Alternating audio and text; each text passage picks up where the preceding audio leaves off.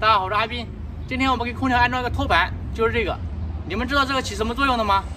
其实像这个，农村用的比较少，城市里面用的比较多。它这个作用啊，也就是说安装在空调外机的底部，等于说接水用的。这边是个出水口。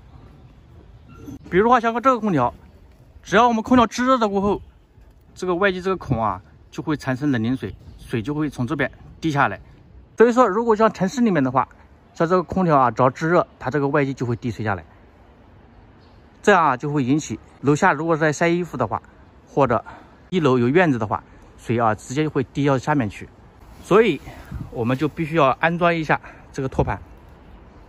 但是有的空调啊，这下面有孔的话。我们直接可以安装一个接头，然后再连接这个管子，塞到这个出水管里面、下水道里面。你看，正常的就这样，下面有个接头，然后这里接个水管就可以了。但是有的空调啊，你看这下面好多孔，太多了，一个整接头啊还不够，必须把所有的孔全堵上。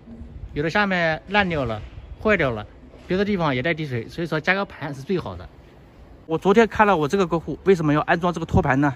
因为它这边呀有好几个孔，而且有的地方缝隙变大，有的从边上露出来了啊，所以说我们必须要安装这种托盘，才可以完全把这个水接住。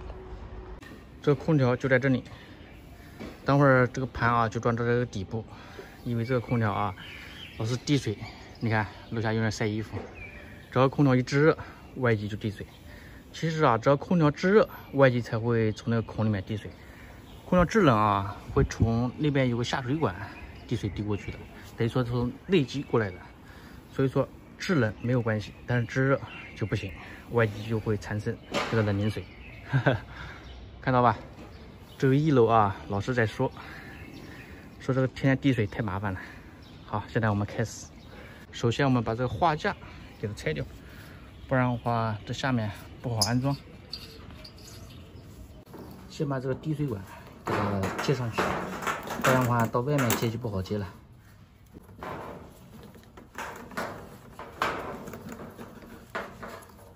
再把这个四个孔装一点铁丝铜丝进去。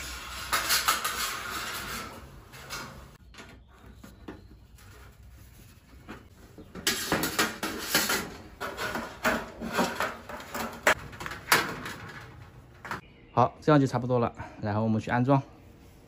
好了，可以了。下面这个盘啊，装好了。这边是一个接水管，然后接到那个管道里面去了。这个管道啊有点难弄，因为这边比较低，那边啊有点高，所以说那边剪掉了一点。刚刚用水试了一下，也全部正常。比如话啊，这边产生冷凝水了。你们看，这个底部就滴水。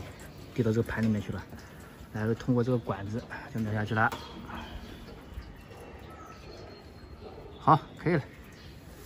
从旁边看就这个样子的，搞定，施工。